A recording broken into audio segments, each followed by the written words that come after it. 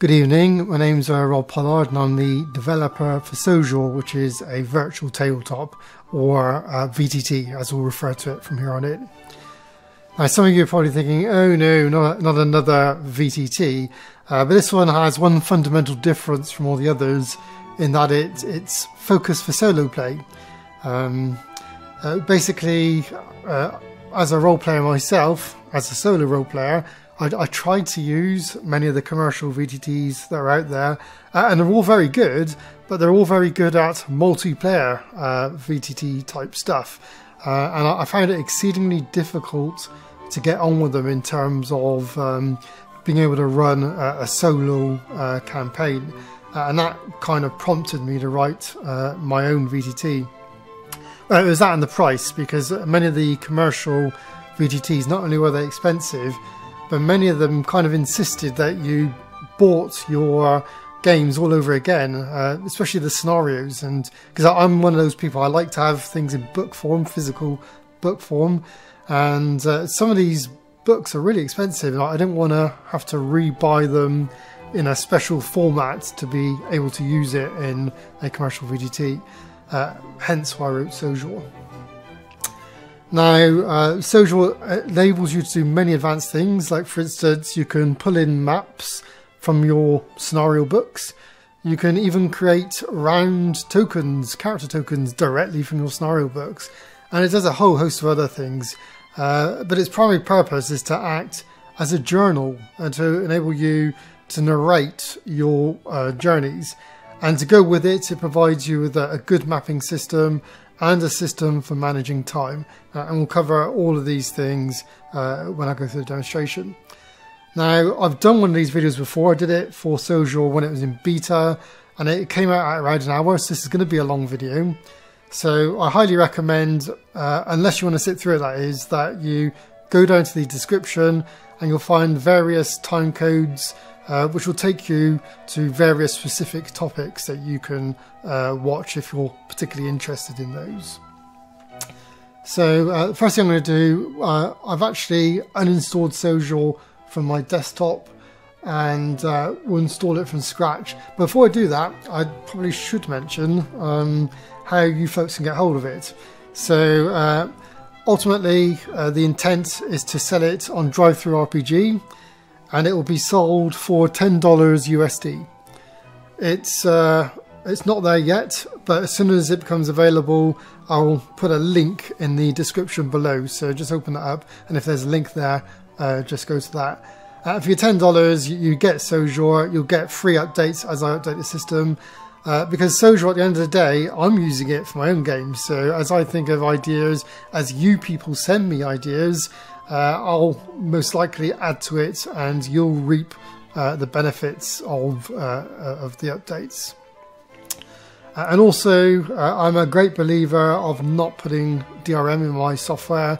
Uh, the, the, way I look at it is uh, many pirates uh, they're, they're, pretty switched on, and if they really want something, especially in a digital domain, they'll get it. You can't stop them.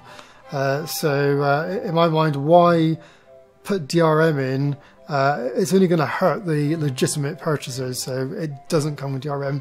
Once you buy it, it's yours for life, basically. So let's get on with the uh, uh, the installation. So it's a standard Windows installation. I've actually tested this in Windows 10 on a, a very small uh, two-core laptop and on this machine, which is obviously uh, running Windows 11. For those of you uh, desperate to run this on Linux or OS X, I haven't tested this on either of those, and it, it, it might not work. Uh, but I, I, will say it uses older technologies like DirectX 9, so I'm guessing there's a chance you folks get Proton to get it to work, and uh, Mono. Uh, it's written in .NET, so uh, yeah, I guess there is a possibility to get it working under those systems. But I haven't tested that. I, I can't hand on heart give you any guarantees about that. So anyway, let's get the installer up and running. So here we are, typical uh, Windows installer. Uh, so let's get that going.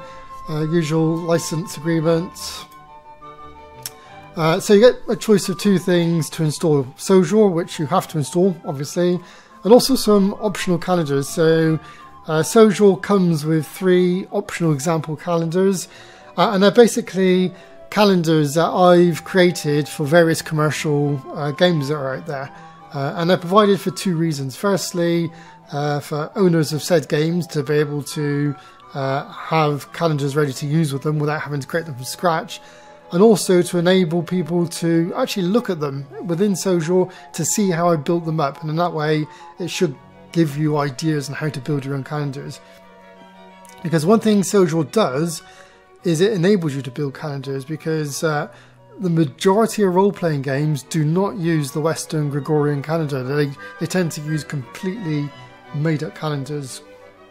And Sojour lets you very easily create your own. Let's go next and hit install. This can take a little bit of time, especially for the uh, uh, the PDF readers. Just just be patient whilst it's installing.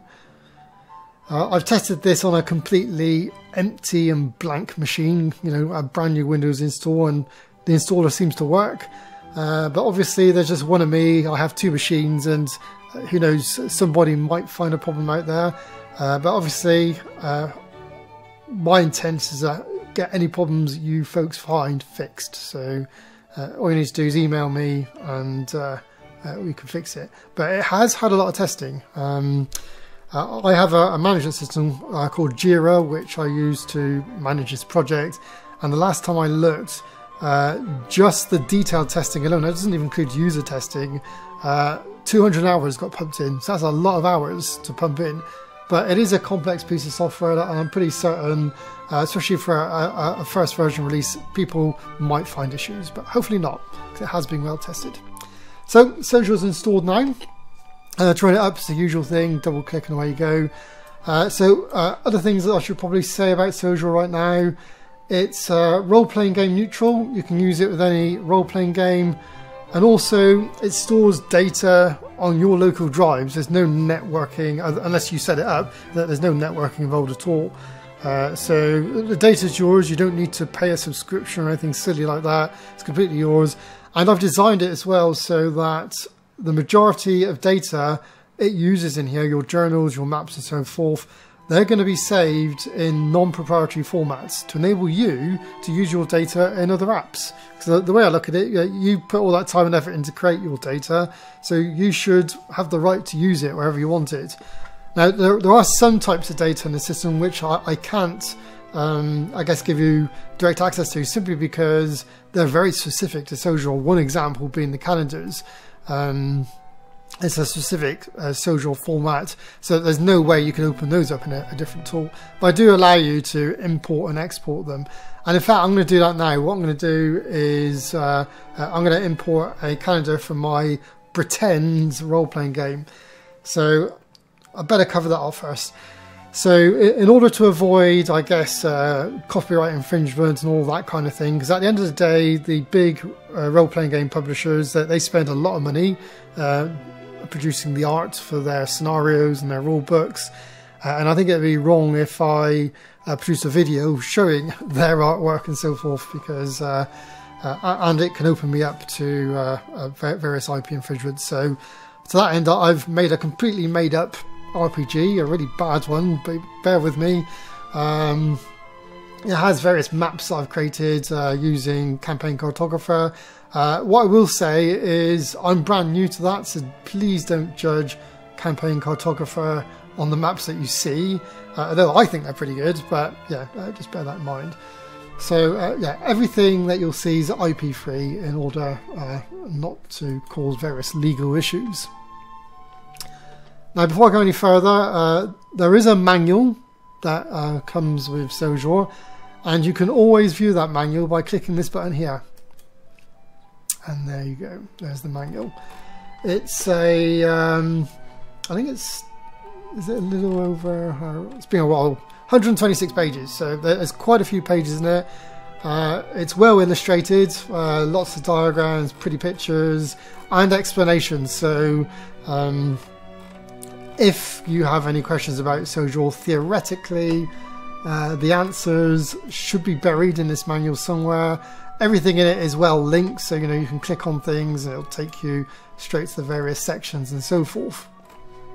And of course, there's a, a linkable uh, table of contents at the beginning. So, and if you want to read about map scaling, you click that, and away you go. It takes you to map scaling. So, yeah, this manual it's always available for you, and uh, it, should be able to help you out. But I'm hoping that I've designed Sojour in such a way that it's straightforward to use anyway, uh, and the manual's just there as a backup. There are other sources of help. There's obviously this YouTube channel where I will be posting regularly once uh, goes out. Uh, but also the maps and the journals themselves also have uh, shortcuts help. Now I can't show you the journal one because we haven't created one yet, but this pane here, the mapping pane, I can show you its shortcut pane, so click that. So this is the helper pane for maps and all it does it gives you the keyboard shortcuts and various other shortcuts for doing various things. There's a stay on top window but it's also modeless. What that means is you can carry on working uh, even with it up. You know you can drag it off to one side and use it as an aid memoir basically. So it's, it's a handy window to enable you to find out what those uh, quick shortcuts are without necessarily having to read a hundred odd page manual. And uh, the journals have the same thing, and I'll show you the journal one when we get there. So uh, when you first install Sojour, it looks pretty empty and barren. You get like one calendar, the Gregorian calendar, which is the standard Western uh, calendar used on Earth. Uh, it's non-editable, so it's not like you can even do anything with it other than use it.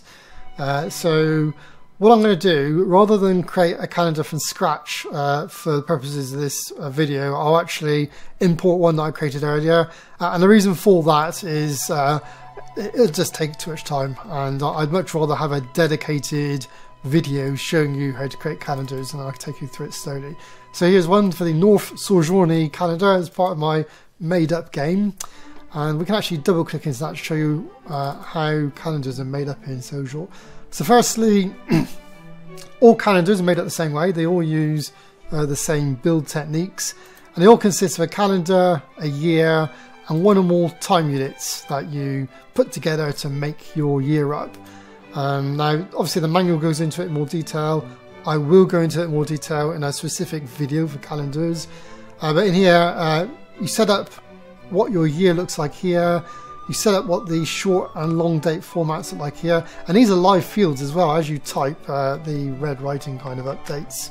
Um, so you can see exactly how your years are going to look.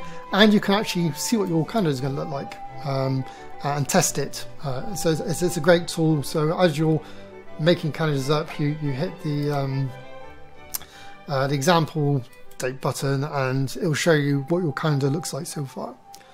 So you see, the Sojourny calendar is pretty unique, and uh, I've tested this system with uh, Traveller calendars. I created a Traveller calendar. I created a Dungeons and Dragons Sword Coast calendar. I also created a RuneQuest uh, Glorantha calendar. So it's a very capable system, and of course you get the um, the, the, normal Gregorian calendar should you be role playing something uh, on Earth, as it were. So uh, the next thing to do is to uh, create a rule set. Now Sojour, it's rule set light. It doesn't model very much on rule sets at all. Uh, and the reason for that is I've played numerous VTTs that do, and uh, now this is probably a personal thing from my point of view, but I left some of those game sessions thinking, hmm, I played D&D, but I kind of didn't. and, and, the reason why is because so much of what makes that role playing game, that particular role playing game, uh, I didn't get involved with because it's all automated. Uh, I could have been playing any game at that point. Uh, and, you know, for, for, I guess, multiplayer over the internet gaming, that's probably a good thing because you want things to be as smooth as possible.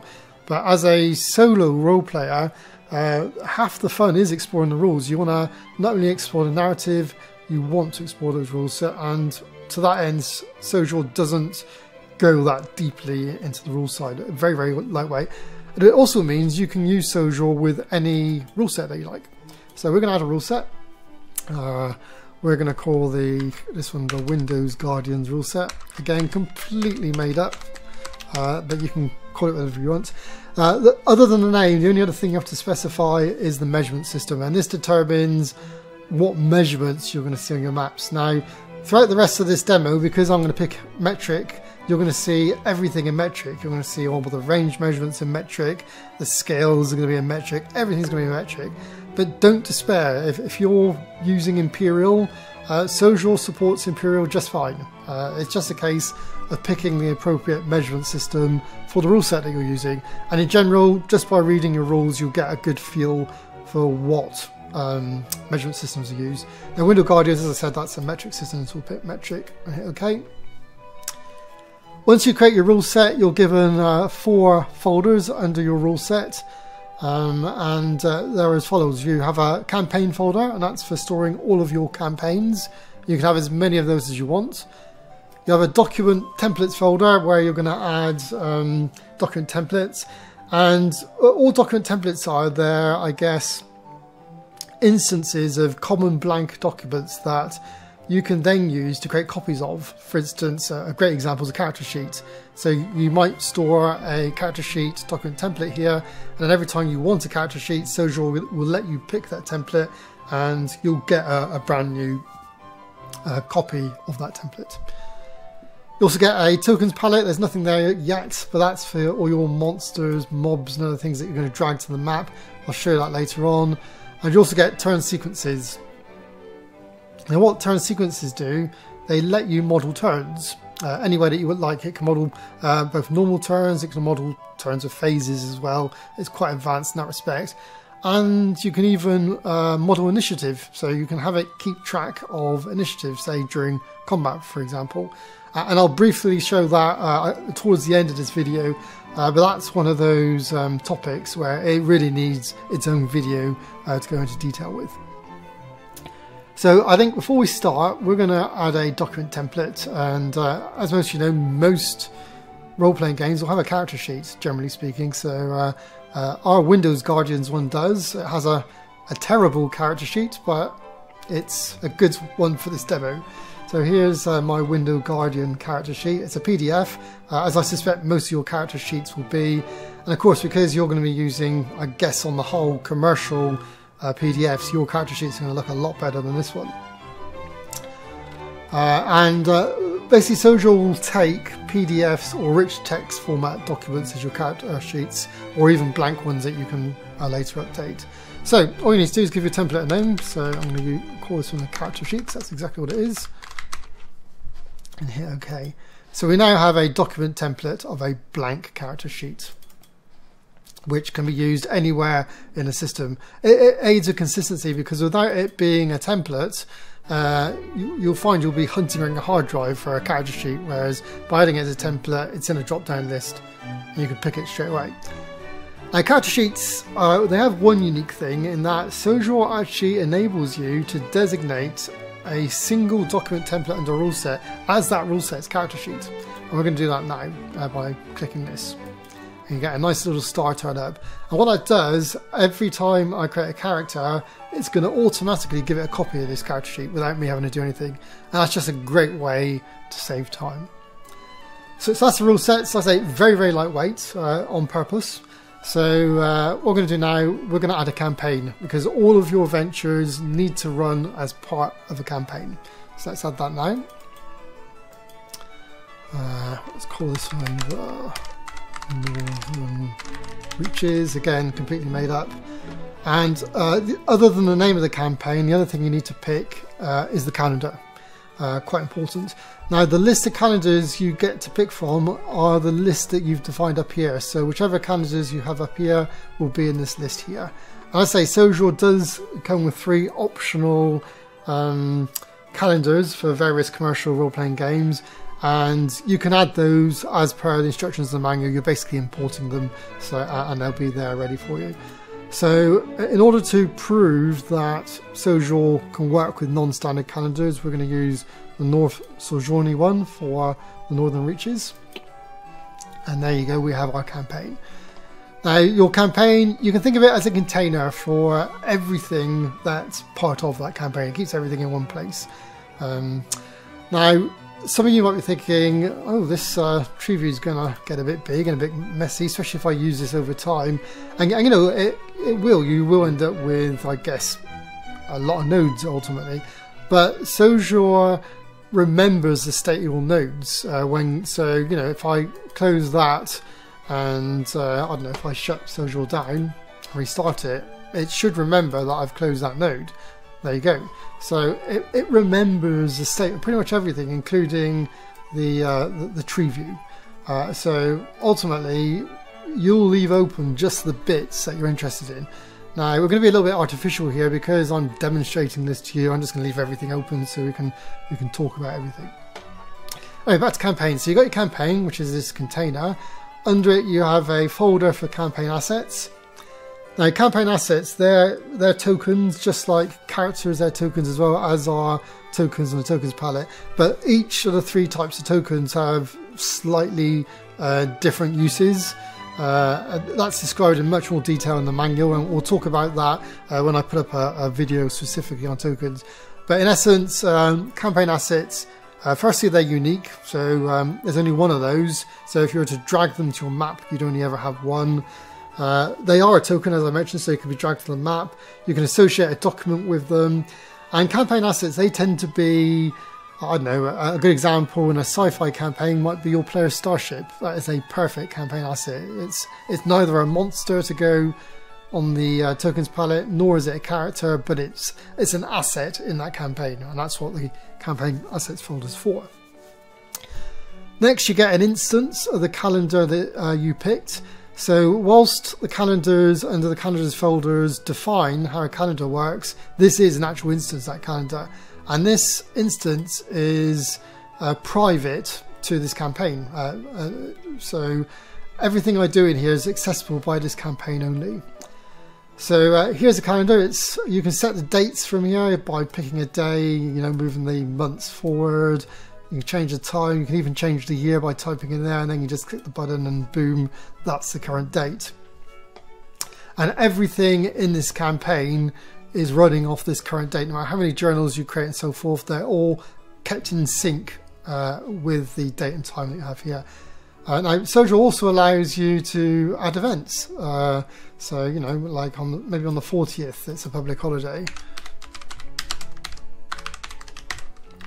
And make that annual recurring. So you can have as many events per um, day as you wish. Uh, and whenever that day comes around, you'll get a nice reminder in your journal, and it will display the text that it shows here. So that's a great way to, I guess, add some life uh, to uh, your yearly campaign cycle. So that's kind of vitally important because I'm a great believer in uh, regulating time. Uh, and normally, when you're playing a role playing game, regulating time is either a, uh, a dungeon master or as a, a solo player uh, is can be a right pain basically. But Sojour automates a lot of that, and I've personally found, having used Sojour to play quite a few of my games, that uh, because it's accurately keeping track of time, it helps kickstart your imagination about what's going on. Like, for instance, oh, look, it's lunchtime, so obviously my character's hungry and they're going to go off for lunch, uh, and that adds to the narrative of the, the story you're trying to create. Uh, and it adds those things in such a way that perhaps you wouldn't normally think of doing those just by randomly going through your narrative. Next, you get the characters folder. In that are all your major characters. So, not just your party characters, all of your campaign major characters. Now, it's acknowledged that, you know, some campaigns can have hundreds of major characters, and you don't want to be dealing with them all at the same time. So you can actually deactivate them. Uh, and once they're deactivated, they they stay under the deactivated folder, but they don't appear anywhere else in Sojour. Although Sojour does remember everything about them, so if you reactivate them, they'll reappear on all the same maps they're originally on and so forth. So uh, it's quite an intelligent feature. Uh, I'll show you uh, that later on. Get a documents folder, and in there you can add uh, rich text, documents, or PDFs, uh, that you like to keep track of your campaign. Inside of that's a um, character sheets folder, which you can't add anything to. Uh, I'm right clicking right now and there's no menu.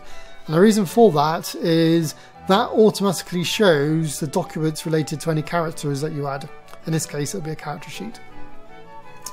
Uh, and the reason for that is uh, when I originally designed Sojour, the only way to view your character sheet would be to open your character. But unfortunately, doing that, it's a modal window, which means once it's open, you can't do anything else in Sojour until you close that window, which is obviously, it doesn't help you for character sheets. Whereas uh, having them displayed directly under the character sheets folder means that you can double click them, the character sheet opens, uh, and then you can leave it open basically because it's modeless and you can carry on using Sojour any way you like. And in fact, you can open as many character sheets as you want. And in fact, when I was playing one of the big commercial games, I I think I had I think it's seven or eight characters in my party, and the way I, I played Sojour, I actually opened up all eight character sheets, minimized them all, and then I just went down to the taskbar and maximized the ones I needed to play with as and when I needed them.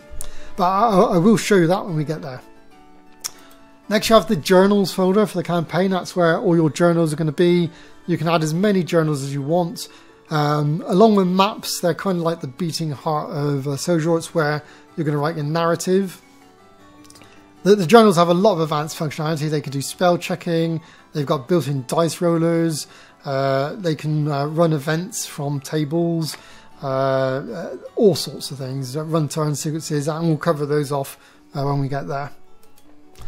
Uh, then there's maps. Sojour allows you uh, to pull in maps for using all sorts of techniques, and I'll cover that in more detail. Uh, and then finally, tables. Now, Sojour supports two types of table. It, it, supports what it calls lookup tables, and lookup tables are basically a form of event table where you can have a dice range, a bunch of events, and it will roll for you. Find out, look it up what the result was, and put that in a journal. Uh, and those tables are really advanced because they support uh, the ability to add modifiers to those tables. And they also support linkages to other lookup tables. So you could have a particular entry trigger up another roll on another table and keep going. It's, it's a really uh, detailed system. Now, uh, again, a bit like turn sequences, there's a lot you can do with that, and uh, I only cover that lightly in this video, and I'll leave it to another video to go into tables in a lot more detail. But like I say, all of this is covered in the manual, so if you want more information, just open the manual and have a quick read. So anyway, we're going to cover maps first. And uh, in Sojour, there are three ways to add a map. you can add it the traditional way uh, from your filing system, and that's pretty much what every other VTT does, pretty much, as far as I'm aware. But it also has a very powerful screenshot capture utility where uh, you can pull up a map on the screen either from a scenario PDF or uh, perhaps from another image and then you can use the built-in screenshot tool to take a screenshot of that and pull it into Sojour as a map. And that's great because a, a lot of the commercial role-playing game companies when you buy a scenario from them uh, even if it's a uh, an actual physical book like I've done they generally supply you with a PDF version as well. And uh, this add maps and screenshot allows you to go through your PDF that you've bought and actually take maps out of it and put them into Sojour. Uh, and it, it's a very quick and easy way of doing that without having to pay for the same scenario twice. And then there's a variety of blank maps. Anyway, we'll, we'll, we'll take you through all this now. So first thing we're going to do is, I guess, the traditional way of adding a map. Um, so here's a picture. Now, Sojour lets you pull in PNGs, BMPs, or JPEGs. Now, I've deliberately picked a map which should be too big for Sojour settings, and because uh, I want to show you something. So let's hit open, and we should get an error, hopefully. And no, maybe I've turned that off, but let's let's give this a map name anyway. So uh, we'll call it Kalmana. We'll have a look at our settings. Maybe the map's smaller than uh, what's required. So let's have a look at our settings. Ah, there it is disabled. Right, okay, fine. Right, let me talk about this the setting. Um, I don't know what computer systems you own. I don't know how powerful they are. I don't know if they're like this one. I don't know if they're like the little laptop I test this on. I have no clue. So, uh, Sojour has to be built in such a way that it uh, it can protect itself and the memory resources. So when you get it, uh, because I've used Sojour before, this is already turned off because Sojour remembers all of your user settings, but you'll get this turned on. And uh, what it does by default, it limits your map sizes to 10 megabytes and it also limits them to 3000 pixels. Now, in terms of the pixels, what that does, if Sojour encounters any maps more than 3000 pixels on side, it will automatically downsample them, so you'll lose a little bit of quality. If your map is over 10 megabytes in size, it will just plain stop you from importing it. Now, both of these values you can change. You can make them as big as you want, or as in my case, you can even disable them. Uh, like I say, it's only there as a safety feature, and in fact, uh, unless your intent is to go nuts on really huge images, I would probably recommend leaving that off anyway, even though it's turned on by default. Uh, so, as an aside, uh, during testing, Sojour was tested with maps up to around, I think, 150 megabytes in file size and about 10,000 by 10,000 pixels. That's a, a pretty big map, and Sojour seemed to work quite well on this system, but I don't know uh, whether other people's systems were able to deal with that, hence why we've got um, these series settings here. Well, I say, if these settings are giving you hassle, either up the values or just turn them off, basically. So here's our map. Uh, looks like any other map, but now that it's in Sojour, uh, Sojour's graphics system, which is one I wrote myself called Ionian, uh, lets you do things with this. So we can now zoom in nice and smoothly, and we can pan nice and smoothly. And this is all the kind of stuff you want for a nice, smooth role-playing experience. So that's all pretty good. You can also use your mouse wheel as well, which is a little bit yeah, jerky. I prefer to use this because it's smooth. So, uh, but the other thing Sojour does is uh, the map having a map as just an image is fine, and in fact, many VTTs do that. But Sojour goes one step further and lets you scale these maps, and that's where the real power comes in. So we're going to scale this by using the scale button. And that pulls up this dialog. Now this is resizable, it's just that Windows 11 and it's, uh, I don't know why they designed it like that, but you no longer get the little um, drag bars on these type of windows. So, But it is there, so you can resize this. So we're going to scale this. Now, the way this works is you pick a measurement system. It will default to the measurement system of your rule set, but it will let you pick a different measurement system. However, say I was to pick Imperial, the map that sorry, the scale that this applies to the map will still be metric. Uh, it just enables you to register it using imperial measurements, and that's handy because you might have a map that is actually has a scale on it that's imperial. You want to pull it into your metric campaign. So you pick imperial, go through this tooling, and then it will automatically, Sojour will automatically convert it to metric or whatever your rule set's using. Now, so um, the rule set we've got here, it is metric, so we're going to pick metric. Uh, you can pick units, we're going to stick with meters, and now uh, if you're lucky, your map will have a scale on it already and you can just uh, use that, but this one doesn't, so we're going to have to take a guess.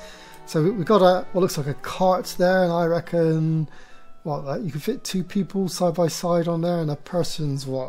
Um, let's say that cart's about two meters in width. So all you need to do is pick a value here. Uh, two's already there, but you can actually type anything you want in here. You know, uh, uh, it's up to you, but we're, we're going to go for two. Next, you pick the uh, color. Now this is quite important. Uh, now that color, it determines both how this registration tool works in terms of the color, but it also determines how, oh sorry, what color the scale and the measurement tools are on your actual map. So you want to pick a color that stands out. Uh, you know, red's pretty good for this map, so we're going to leave it on red, but you, you, could change it to one of any number of colors, including making your own with define custom colors. So we're going to leave that on red. Uh, we're now going to press the register button and get across there. And all you need to do, because we're using the cart as our reference, I'm going to click there. So the first left click, uh, and now you've got this little rubber banded line with a, a, measurement by it, which is, I mean, here we've set it as two meters, it's two meters, but it, it can be anything, you can make it kilometers, whatever you want. And all you need to do is drag that to what you think is going to be two meters on this map. And let's say we thought two meters is about the width of this cart, so let's do that. So we've now registered that. So Sojour reckons this map is around 105 meters by 69 meters, and hit OK. So once we've done that, you'll see we now have a map scale on the bottom because everything is now scaled. So, so right away, scaling a map gets you a map scale, which is obviously quite handy for role-playing games. It gives you a sense of ranges. But you don't have to guess ranges on this because once you've scaled your map, the measurement tools become available. So let's go through those. We, we give you three measurement tools. You can measure range, And these are um, zoom stabilized. So as you're measuring, you can zoom in, out, pan around, and it automatically scales the arrow to uh, still be readable. And you know, you can pick where you want. And uh, basically, these scaling modes stay on uh, until you disable them. So, and you can actually anchor this. So, say I really wanted to know the range to the cart, you'd put the arrow on the edge there, click. So that's 22 meters. But the second click anchors your measurements to the map. So um, it stays on the map until you either create a new measurement or you undo it. Now, the other things you can measure in Sojour are area of effect for you know those explody things that happen in many role-playing games. So that's nice circular area of effect. And again, as I mentioned earlier, yes, it's showing it in meters. That's because my rule set's in meters. If you'd, if I'd picked Imperial, you'd be seeing feet, yards, and miles, all that kind of thing. So don't fear the metric system. Sojour does support Imperial as well. And again, same thing again. The second click anchors it to the map, and it, it becomes part of the map at that point. and we can clear that. And the final one, Sojour will provide you with a, an arc measurement, and again you move this around, uh, and you can also change the width of the arc by using the control key and mouse wheel. So it's 45. Now changing it down to what 30 degrees. Again, you, can zoom and pan around as you're playing with it. And you know, and once you're happy with it, second click anchors it, and then you can just leave it there. Uh, the only real limitation is Sojour only allows you to have one measurement tool up at a time, uh, and when you finish with it, you kind of clear it off and it, it goes. So that's the measurement tools. What else can we do with maps? Well, Sojour provides some crude drawing tools. Uh, now you can use these to either annotate existing maps or more likely you'll create a blank map and use these drawing tools uh, to knock up uh, those crude encounter maps. Because we've all been there, you're playing a role-playing game and all of a sudden this random encounter happens and you need a map. Uh, so Sojour gives you the ability to quickly draw one, uh, and yes, it will look pretty rough, but it should be enough to trigger off the old um, uh, imagination engine to uh, to imagine what's going on. So I'll show you the tools that are available. There's a free draw, um, which enables you to draw various bits of the map, and once you finish drawing it again, it becomes part of the map. You can change the colour of what you're drawing from here. Uh, so let's go blue maybe. And you can change the width so uh, from here. So let's go for the biggest width, which is width 5. And then you can again draw again away. There we go. And again, they, they're saved to the map. They, for intensive purposes, they become part of the map. And uh, you can get rid of them uh, by using the eraser tool. So uh, it has free draw. What else it have? It also has uh, a drawing tool for drawing straight lines. Let's go down to a slightly smaller width. So, uh, and the way this works, the first click you get a rubber band. Click again, rubber band, and so forth. You can use that to draw nice straight lines. And when you get to the last one that you don't want, you right click, and there you go, you're done. And again, once you're done, it becomes part of the map. It's kind of, and it's obviously saved to the map, and we can erase that we don't want that. So you can also draw rectangles. So your first click gives you this rectangle which follows the, the mouse cursor. You can use uh, the mouse wheel to rotate it. You can use mouse wheel shift to change the height, and mouse wheel control to change the width. And you know, once you're happy with where it's going to go, you then click again and it becomes part of the map. And again, you can pick colors and widths as mentioned earlier, and we can of course delete that. And then uh, finally on the drawing front, we give you circles.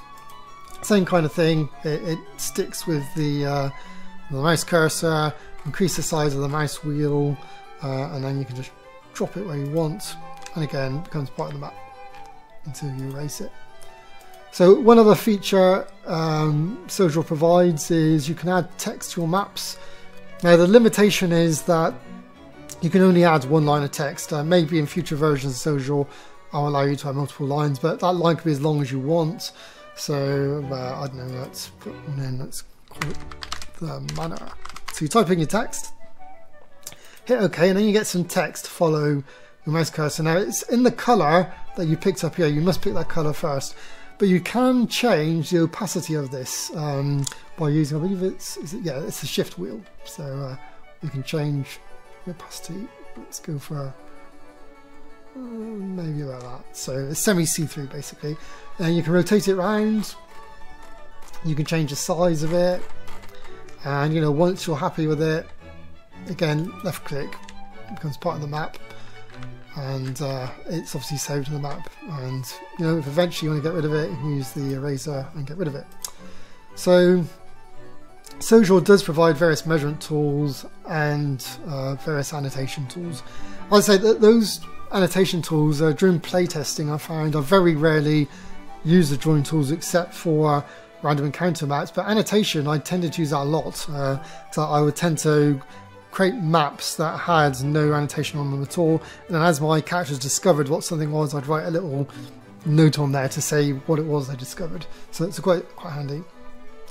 Another thing you can do with maps, and I guess this is for those people that perhaps want to use Sojour as a mapping surface, is you can have them fill the entire Sojour window by clicking this button here.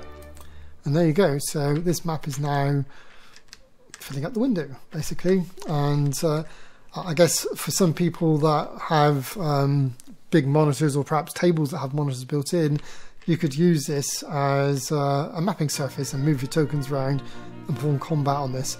Now when you're done, you click the button again and the left-hand pane shows up. So uh, that's the basics on the map side. There is one other thing I will show you, and that's map linking, but we'll, we'll come on to that after I've added a few more maps. So the next way to add a map, and I guess this is one of the more powerful features and maybe even a unique feature to Sojour, is you can add them from a screenshot. So for this example, we're going to pretend we have a scenario book. Um, here's our scenario book. This is a terrible scenario book, by the way, called uh, Kyle Manor. It's a PDF that I wrote. It's using um, like weird Latin, so hopefully it doesn't mean anything to anyone because it's not supposed to. Um, so I'm obviously not going to use a real scenario book here because I don't want to break copyright, but here's one I've made up with maps I've made up. Now, I highly recommend if you are going to take a map from a, a scenario book, you make it as large as possible, and I'm guessing that's as big as we're going to make for that. All you need to do in order to capture this map from your scenario book is go to Sojour. Don't worry about Sojour being in the way. Sojour will automatically hide all of its windows when you take a screenshot. All you then need to do is click Add Map from Screenshot, and then your mouse cursor changes into a crosshair. So the first click gives you this rubber banding rectangle. You don't need to hold your mouse button down. It's not like Windows screen capture. Here, uh, I'm, I'm mouse free right now. I can just move the mouse around. All you do is pick the other corner. And uh, I think that's right, right there. And click once more, and that captures that. And give it a name. Uh, let's call this North Sojourning. Yeah, that'll do. Right, and then hit OK. There you go. We captured a map directly from our PDF, and it has it can do all of the things that uh, a normal map can do. Now, as I say, there it's looking a little bit blurry, and that's because uh, of the size map. You, you want to go for as bigger maps as you can, basically. And again, we, we can scale this. So um, and once again, like most role-playing maps are out there, there's no scale on this. So let's, uh, we'll have to invent one here. Uh, so obviously we're stuck with metric. This is a zoomed out map, so we're probably to have to go to kilometres, and I reckon it's about 10 kilometres between here and here, so let's put in 10 for the distance. We'll leave it as red because red's a good colour for this particular map, just like the last one. Hit register scale, click there, and we'll move our 10 kilometers to about there. And there you go. So Sojour thinks this map is about just under 6 kilometers by uh, 3 kilometers in size. Hit OK, and you have your map scale. And as I mentioned before, uh, this works for Imperial as well. So had this been an Imperial map, you'd be looking at miles and and so forth. So uh, this feature is not to be underestimated because um, it enables you, as an owner of various scenario PDFs, to literally go grab the maps in those PDFs and pull them straight into Sojour with a minimum of effort so you can get on and play. Uh, and this is without having to spend lots of money on a digital version of your scenario specifically for a VTT. It's a great money saver. So now that we have a second map in, we can actually show you another feature called uh, map linking. So uh, basically, this is a zoomed out map of the countryside, and uh, right in the middle there is Kyle Manor. But this is also Kyle Manor. This is like a zoomed in map of Kyle Manor. So the two maps are kind of related, and in uh, Sojour you can actually relate them together with a map link. So we're going to add a map link to link this uh, Kyle Manor here to this Kyle Manor here. And the way you do it is you click the map links button, or alternatively, you can actually right click and go add map link. You get this little red circle, which I'm guessing you can't really see there unless we zoom in. Uh, now you can make that circle as big or as small as you like uh, using control mouse wheel. And basically that uh, circle is going to become your hotspot uh, for clicking to uh, move to next map. So I reckon we're going to need a hotspot about that big, I think would be pretty good. You can edit these after the fact, so you know if you're not happy with it the first time, fine. So you click that, and then you get to pick which map you want to link to. It won't let you link to itself, obviously, but it will let you link to other maps in that campaign. And here you go, so Kyle Manor, and OK that. And when you OK it, it goes, and you think, oh, what was that for? It's all gone. But it's it's still there. If I wave my mouse over Kyle Manor now, see, you, you get the um, tooltip for Kyle Manor. And notice the cursor changes to hand. So it's a crosshair here. It's now changed to a hand with Kyle Manor. All I need to do is double click and boom, it takes me straight there. And you can link as many maps as you like together. And again, that provides a nice, easy way of linking your big campaign map to all of your, I guess, little scenario areas. And that way, you don't need to go find those maps. You can quite literally browse your big map, uh, find the map link, and double click. Now, for those that actually want to see the map links, uh, there is a button here where you can make them visible, and then they stay visible. I suspect most people will play with them hidden because they kind of spoil the aesthetic of your map, basically. So uh, that's pretty much everything on maps that I, I want to cover for today. Uh, there is more, but that's in the manual, and we can uh, perhaps cover that in a, a different video. So you got your maps. The next thing you're going to want are tokens and things to run around on your map. So, um, oh, ooh, no, there's one more map thing. Almost forgot. So, Sojour allows you to create a third type of map. I've, i should have remembered this. And that's a blank map. And again, that's for the, um, as I mentioned, you know, those odd encounters. We call this an encounter map. And Sojour has a number of built-in blank maps. Uh, some were squares, some were hexes, all of them with different kinds of colours. So if we go, I don't know, if we go for brown with hexes and hit OK, we've now created an encounter map. And you know, you could use the drawing tools to um, put stuff on this encounter map uh, in order to draw, draw, a quick and dirty map. Uh, yeah, I'm, I'm not going to bother for real here, but you, you, get the drift. And uh, of course, like um, all maps, you can uh, register scale this. So let's go do that for this one as well. So I don't know, what do we reckon? Five meters, I guess, for no, let's make it two meters. So make each hex two meters, richer scale, and it be uh, bang, bang registered. Okay, and there you go. We now have a, a blank map ready to go for a random encounter. Now, that is really everything around maps. I, I think I've covered it all now. So anyway, uh, going back to where we're going to go, which is characters, we're going to add some characters uh, to Sojour.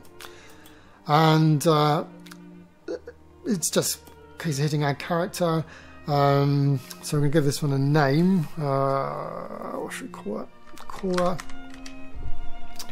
And you can add the tokens uh, using various things. You can either add them from a picture or uh, you can take a screenshot, uh, and uh, much like we did with the map. And again, that's powerful because you, can take uh, a screenshot from your scenario book and actually turn it into a nice round circular counter. And I'll show you that in a second. But for the moment, I'll show you the, I guess, the traditional way. Now, also note, we got a character sheet with this. Um, and it's the one that we defined down here for free. So this is uh, cool. Save that. And uh, let's add a picture for her. And again, this is, I guess, the standard way that most of the VTTs do this. Okay, and she's there. Uh, now, uh, one thing to talk about um, in most other VTTs, when you import uh, tokens, they kind of display the tokens at the image size that you imported at. Uh, Sojour doesn't do that. Uh, Sojour um, unifies all token sizes to being around one meter in size. Uh, and that's a deliberate decision because uh, that way, when you're pulling in tokens from a variety of digital sources, you don't need to worry about getting them exactly the same size. You don't need to worry about that at all. They can all be of many different image sizes, but they'll all display as exactly the same size on the map unless you change this relative size value. So uh, a relative size of 1 represents basically a human and generally means the token is going to be about 1 meter in size. Uh, there are various options for framing and transparencies. I'll show you that later on. We'll just stick with what we have for the moment. So we'll okay that. And that does several things. For a start, uh, Cora appears as a, uh, in here uh, for editing later on. We also get our character sheet here. So as I mentioned earlier, when it's opened from here, this is uh, it's it's modeless. So you know you can go back to here and carry on working with Sojour. You can open up more character sheets. You can minimize it. And as I did, uh, I discovered the best way to do this was to actually open up all your character sheets, have them minimized, then you can uh, maximize them uh, when you want to play with them or edit them. So it's quite a handy feature. So uh, what you can do now, you can actually bring uh, Cora onto the map and Sojour automatically scales it. So for example, if I zoom out, if I drag from here, look how small her token is because it's automatically scaled for one meter. But if I was to zoom in and then drag, notice how much bigger it is because again, Sojour automatically knows the scale uh, and that's one of its most powerful features, the fact that it automatically unifies uh, token scales and you can drag your uh, character from either here or you can drag them from here. It's up to you. And wherever you, uh, and it is drag and drop, so you drag, release your mouse button, boom, they're on the map, and they become part of the map. Now you don't have to take the default size uh, that you're given. You can use your mouse wheel, oh sorry, rotation, use control mouse wheel and make it as big or as small as you want. It's completely up to you. Uh, I'm just going to delete that and redrag out, just get the default size. So, you got your token on the map. What can you do with them? Well, for a start, you can move them as you'd expect, uh, like all VTTs. And to move a token in Sojour, it is literally drag and drop. Now, because I've registered the scale on this map, look what happens when I drag her. See how it automatically calculates the range? So if I drag her there, she's going to move 5.73 meters if I let go. And there you go. And that's how you move it. And you can always see how far so she's moving about 10 meters there. So that's a great way to make sure your characters are moving uh, exactly the, the, distances that you expect them to. And of course you can use the measurement tools and do a whole bunch of other things like maybe open a character sheet from there and so forth so uh, uh, that's a, a, pretty I guess neat feature so okay let's pretend let's go back to our uh, made up uh, scenario book our terribly made up Scenario book, Carl Manor.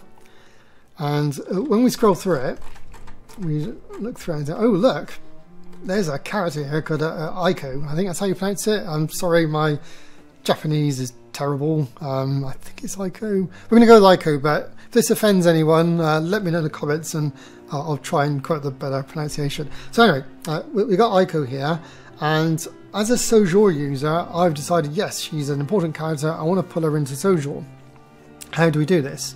Now, in most other role-playing game, uh, sorry, most other VTTs, you might have a problem there, uh, but Sojour gives you the tools to do this. And again, all you need to do is make her visible, and then on add characters, you simply add a character, give her a name again, and then for adding the picture, this time we use add picture from screenshot rather than the normal add picture. So click that, and again, you get the crosshair, and all you need to do is pick the bits that you want to be on your counter. So I don't want the frilly bits on the edge, so I'm going to be careful to not pick those. So one click to pick the top corner, another click to pick the other corner. I think that's about what we want. And bingo, uh, we, we, have uh, Aiko brought into the system. Now we could use her like this, but the problem is she'll appear as a, a square icon on your um, uh, on your maps, she'll appear as square up here as well. It just wouldn't look very good. So Sojour provides you the ability to frame your tokens with nice, uh, beautiful circular frames. So uh, you can pick a color as well. So what would be a good color for her? Uh, green uh, or purple? Let's go purple. So we need to pick a color, and Sojour automatically turns uh, that picture into a counter and hit OK, and boom, there, there she is.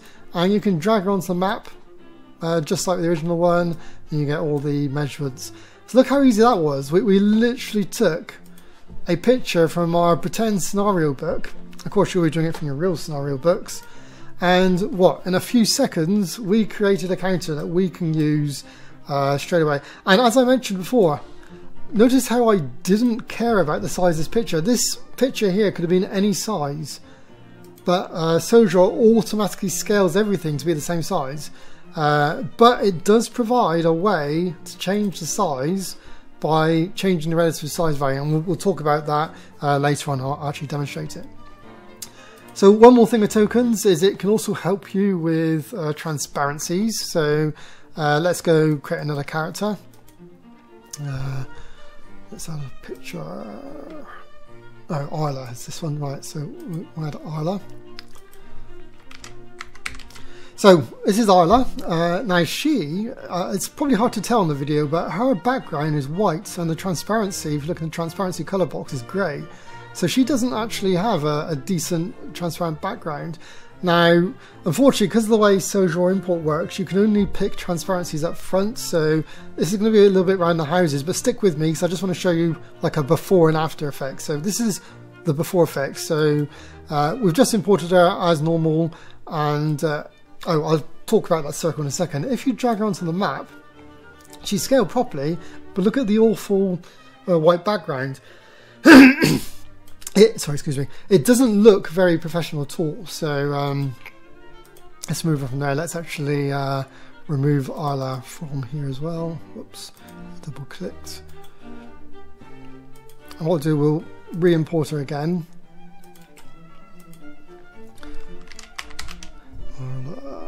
A picture. And what we're going to do, we're going to take advantage of the transparency tool. So all you need to do is click pick transparency and click the, the color on the image you want to make transparent. And we're going to go for the white there. See that's turned white. Hit OK. And now when I drag Isla to the map, look at that. Nice professional looking token. And again, perfectly scaled, even though in reality these three pictures are all actually very different sizes. Um, Sojour has automatically scaled them and unified them to look good together. Uh, and that's, I guess, one of the powers of the mapping system, basically. So uh, I guess that's the two ways of adding a character. Um, now with these, they have character sheets uh, because we've defined them to have character sheets uh, via here. But you can clear those documents and add any other documents that you want. But so far, at least for this version of Sojour, every token or character can only have one related document. Uh, now, I'm guessing in the future I'll I'll remove that limitation and enable you to add multiple documents, but that's a future enhancement uh, right now.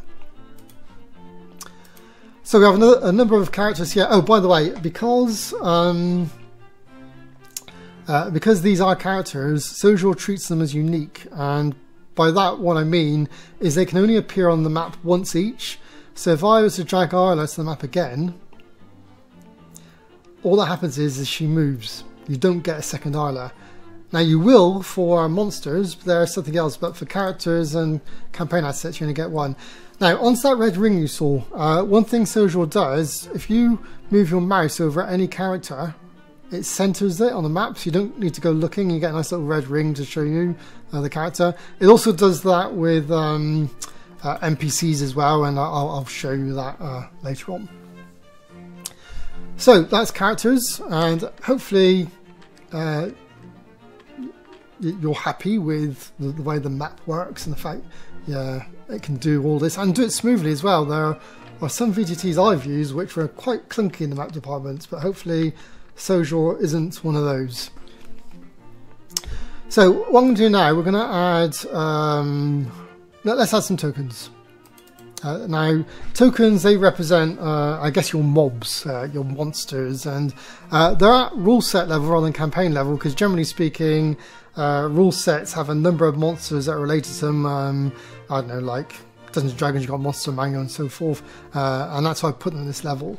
Now, tokens, unlike characters or campaign assets, you can multi-instance them to create crowds of monsters. So let's create one. I'll call this one Goblin. Because everyone likes a good goblin. Uh, and let's go add picture. And right, so one of the differences uh, between a token and all the others is it has hit points. Uh, now, the, the, reason for this, and I might come to regret this design decision later on and I might change it, but the, the original reason for this is in Sojour, the intent is you'll manage the hit points of your main characters on their character sheets. But for throwaway NPCs, uh, they'll manage their own hit points through this mechanism. Uh, that's the idea, and it just saves you having to do it. Now, you can either put in a fixed value, or you can actually put in dice. And um, lets you go absolutely nuts with dice uh, expressions, but we're not going to go nuts right now, just going to go for a standard 2D. Notice it's gone red because 2D is not a legal dice combination, but 2D6 is, that's gone black. But let's go 2D6 plus 2. So uh, that's the hit points, and the idea is whenever you drag this uh, goblin uh, to the map, uh, you'll be asked to give it hit points. Now I can actually show you that now. Plus you can add an associated document as well. Uh, in fact, let's do that now. And we'll call this, I don't know, Goblin details. You can call it anything you want, obviously. And for this, because I don't have a built-in thing, I will create a blank PDF for that. And I'm not going to go nuts here, I'm just going to Goblin details. Uh, obviously, you add a, a, lot more to this than what I'm typing here. So that's our Goblin. Hit OK.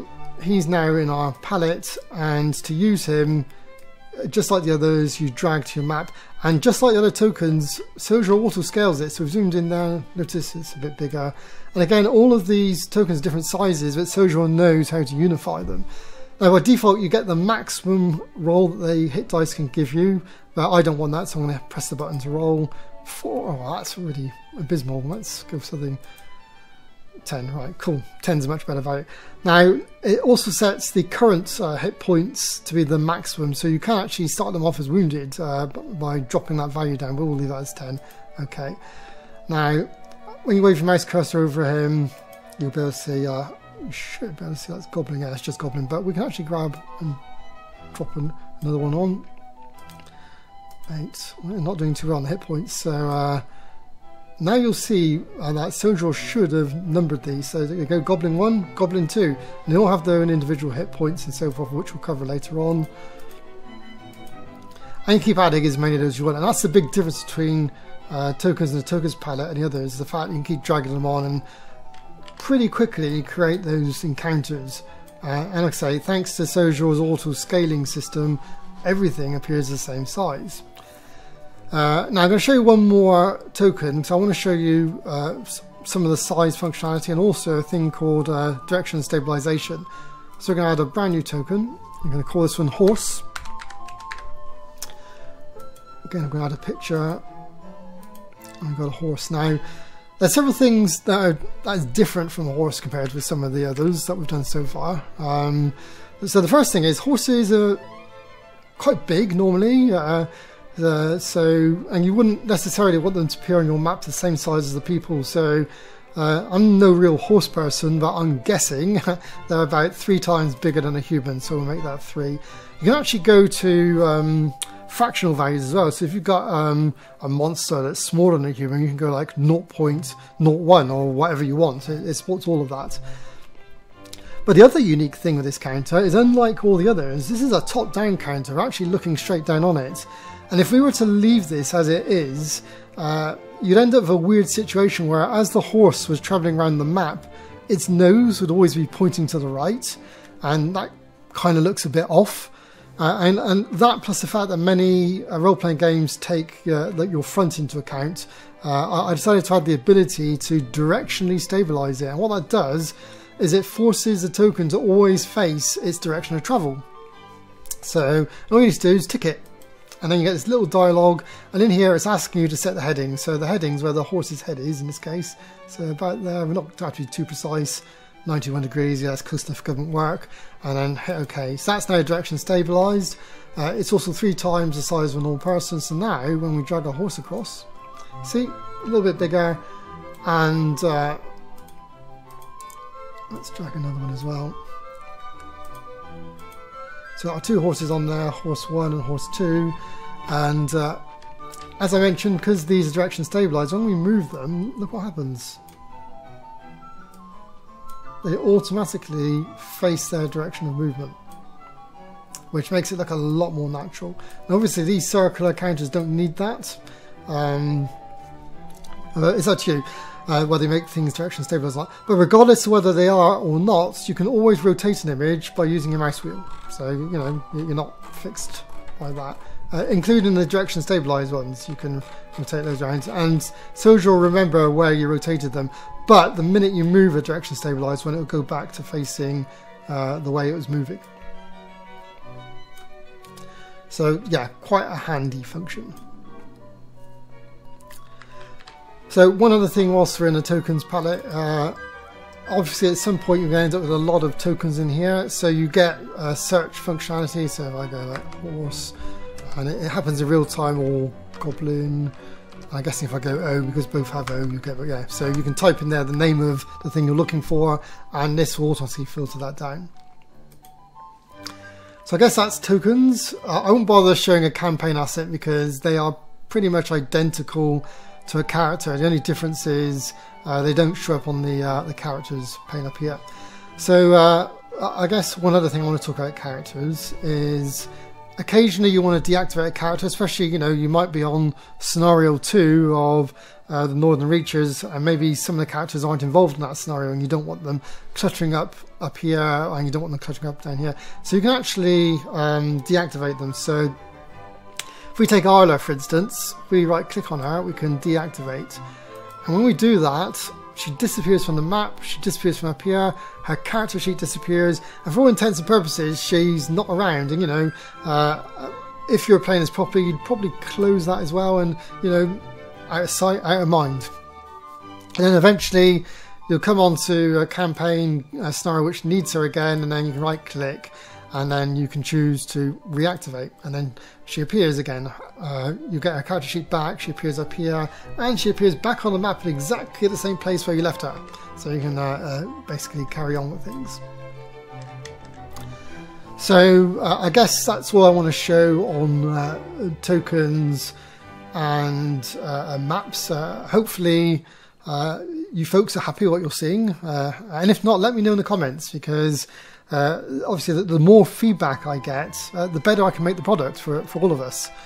Uh, and as I might have mentioned already, uh, I, am I'm, I'm not just writing this to sell, although I, I am obviously selling it. I'm also writing it for myself. I actually use Sojour to play my games, and I, I have uh, three campaigns going on right now in three very famous and commercial role-playing games, and the Sojour works incredibly well for those. And I've saved a bundle of cash because Sojour screen capture functionality enables me to pull in maps and tokens without having to rebuy my assets again in order to use with my VTT. So uh, I think what we're going to do now, I'll, I'll briefly show you a table. Uh, should we show you a table? No, let's show you journals because journals are the next big important thing. So journals are where you're going to add your narrative. Uh, now you can call them anything you want, but I generally recommend that you number them and just to give them a bit of order in the journals pane because the journals pane sorts them out by alphabetical order. Uh, so let's call this uh, the encounter. Very original, not. Right, that creates a journal. Now, uh, to open a journal, you can see it's already open there, but you can double click it here and that presents it in this right hand window. Now, I. Uh, uh, rephrase Sojour's primarily designed so you play it like this. You'll have a journal on the left and you'll have your map on the right. And the idea is that you'll write the narrative on this side and move your characters around on that side. So there's a lot that's in a journal. Um, you have the current date and time in your campaign, and you can actually move that backwards and forwards. So you can add a minute, add an hour, even add a whole day. Oh look, and it's a public holiday, and it knows it's a public holiday because oh, we don't need to even need to go there. You can actually double click this. You'll see a little uh, see it says double click, and there you go. And yeah, public holiday, and that, we actually set that as an event. So the event system obviously works. Now. Um, this uh, Sojour generated text is always in light grey italics and it only ever goes in the active visible journal. Um, uh, in the olden days, in the earlier versions of Sojour, it used to go in all campaign journals, but the problem I've discovered was it ends up vandalizing your older journals. Excuse me, which you obviously don't want to happen. Um, so you can move uh, your, your, time forward uh, like that. Uh, you can also move time forward using built-in macros. Now, I can actually show the other helper window that I mentioned earlier by pressing this button here. And just like the map helper window, it's completely modeless, so you know you can carry on working away with it up. Uh, and this gives you all of the, uh, uh, the, the keyboard shortcuts, and there are quite a few for the journal. Uh, and it remembers where you last left it. So, like I say, we're going to increment time now. The downside of incrementing time up here is, I know, let's pretend three hours have gone by. You could do it up here and go, you know, one, two, three. The problem is you end up with three of these entries, which makes your journal look a little bit unsightly. However, I will point out that because Sojour is a solo journal, you can edit anything. It's not like a multiplayer journal where once something's happened, it's set in stone you can, you know, so if you didn't like any of this, you can, you know, let's just get rid of all of that. And away you go. And that happens with everything you see in the journal. But there are other ways to alter time. So uh, as per those shortcuts, you can say I to three hours, you actually go plus three, and then capital H for hours, and it automatically goes forward three hours and tells you it's gone forward three hours. And uh, what it does, all journals that are part of this campaign go forward three hours, although only this one has the writing in it to tell you that that's happened, but all of them will have the same time and date up here. And this is a great way to, uh, to manage your timer. And using those shortcuts, you can move forwards or backwards uh, in seconds, minutes, hours, or days. So uh, there's a lot of flexibility there. Now, these journals support um, some uh, basic uh, fonts. Uh, so you obviously got your normal um, text. But you can do things like change the colour by double clicking here. So I might want to go red. And maybe we'll make it underlined and bold. And even maybe add some italics. Uh, and uh, it's yeah, you get given a little bit of freedom there. Now, um, one thing Sojour does do, in order to make updates as simple as possible, wherever you drop the cursor, it automatically adopts uh, the font uh, that's there. And you can always tell what font is there by looking at your font buttons. So right now we can see it's underscore, bold, italic, and red, and you can turn those on and off by clicking on them.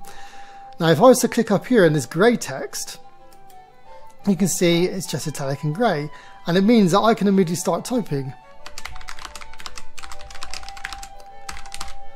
and it automatically adopts the text in that area so you don't have to keep fiddling around and faffing around to um, uh, to get the appropriate um, uh, font.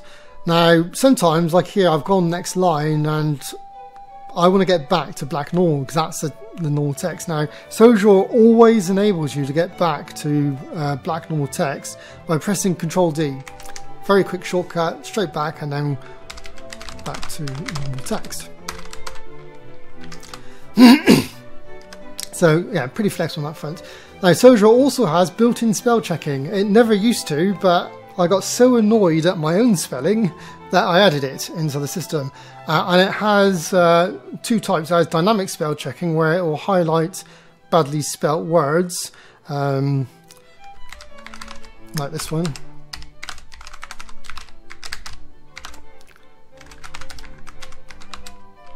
There, highlighted a bit red. uh, I can't spell definitely to save my life. Uh, it's it's it's my yeah, it's my kryptonite basically. So um, yeah, so as you're typing, uh, Sojour will highlight uh, badly spelled words briefly in red. I I did originally have it underscore in red, a bit like Word and that, but one thing I discovered is that um, role-playing journals have so many made-up words in them that you end up with lots of red underscoring everywhere, and it just becomes a an eyesore. So I abandoned that, and I've now gone for the let's show things up very briefly um, in red. So like and again that should go red. Now, uh, what can you do about it? Well, you can actually right click on it and Sojour should give you a bunch of options. So two things. First it goes red to say, hey, you spelt this wrongly. And then it gives you some spelling options. And let's go for the real spelling. There you go. And just saying, well, hello. Oh, there's loads there. Uh, let's go hello. And uh, that fixes your spelling for you. But also, you can eyeball some text in your journal. And, you know, we all know it. You've been typing away and you look at a piece of text and you think to yourself, is that spelt right? I don't know. I'm not too sure. Well, you can find out by putting the cursor over it and right clicking. If it's green and it, like this one, and only has one option, it's spelt correctly. So, yeah, very handy feature. Uh, and uh, I say it wasn't in the original version of Sojour, but I added it because my own personal spelling is so dire and I couldn't stand. I'm one of those people, I know when I spelt something wrong, but I don't necessarily know how to correct it, which is why I added this. Now, uh, commercial spell checkers are really expensive, and this is one that I've written myself. It kind of uses stuff deep in the bowels of Windows. Uh, now, theoretically, if I've read the API documentation correctly, this calendar, sorry, the, the dictionary for the spell check should automatically pick up the language that your operating system's using. Uh, however, because I live in Britain and because my OS is English, I've got no way of proving that. So I have to wait till somebody buys this in maybe Spain or Portugal and they get back to me and say, Hey Rob, your spelling works great in Portugal. Or, Hey Rob, the spell checker doesn't work at all in Portugal, in which case, please let me know. But it should work because uh, I've been reliably informed from the API documentation that it does pick up other languages. So you get spell checking. Uh, what else do you get? Right, so you also get um, the dice roller. Now, Sojour never had this originally because my original ethos was you'd have some physical dice in front of you and you just roll them. But so many people asked for it on Reddit, I thought, okay, I'll give you a dice roller. In fact, I've given you two dice rollers and I'll show you both of those now. So you get the, the general window-based dice roller here, where you can type in what you want to roll. And like I say, you can go nuts on this, but let's go 2d6 plus 3d4 minus 2d8. Um, let's go plus 3. Yeah, that's a pretty nuts uh, dice expression. And notice how it goes red when it's not a good dice expression. So we have our dice expression, and all you need to do to roll it is just press the button, and there you go. So you wrote all that, and I wrote a 6 at that time, 11, and so forth. Now, you can pick options and settings to go for detailed dice rolls, so let's enable that now. And what that does is when I roll on the same dice, it'll give you a breakdown. So there it's saying I rolled 11 on all those dice and plus 3, I got 10 on 2d6, 7 on 3d4, and 9 on 2d8, and it added all those up and gave me 11. So it, you can have that nice breakdown if you want it. Now this dice roller it remembers your last 10 dice expressions, so you know you could type something else in there like, I don't know, 3d6, and roll on that. And, and what it does, it orders this list uh, in the order that you last ran things. So uh, over time, uh, you'll have a list of 10 different dice expressions with your most used ones towards the top, and every journal gets its own historical dice list, which I guess is pretty good. Now, if you were to roll an 11th expression, uh, Sojour removes the, uh, the least used one from the list and adds your new expression to the top. So that's one kind of dice roller, but Sojour also provides an inline dice roller.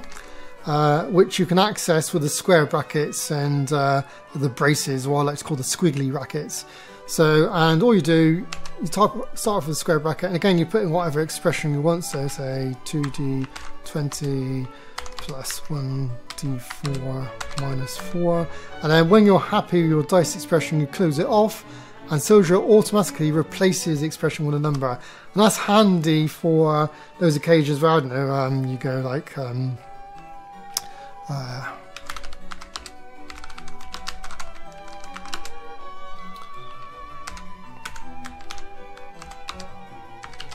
like that. Uh, it's, a, it's another way of rolling dice. And you can use the braces or squiggly brackets, I call them, in order to get the more detailed readout. So we can go, uh, for instance, 2d6 minus 2d6, and this will give you a detailed breakdown.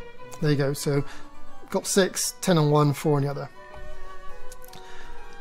So it does dice. Uh, you can also, there are macros in here for inserting the time, which I forget offhand, but luckily as I mentioned earlier, Sojour comes to help. So what we got? So we can insert a long date and time. So that's plus LD. So let's do that now. There you go. You get the, the current date and time of your campaign. And note it's using your campaign calendar in the format that you've set it up as. Uh, so yeah, it's very, very powerful. Uh, and of course you can roll that backwards and forwards. So have I covered all the texty based stuff he says, cheating by looking at his own uh, uh, menu here. So it has undo and redo. Uh, you can also save, like Control S, I'll cover that. Um, oh, start expressions we've done, text, we've done all that. Uh, conversations we'll cover in a second.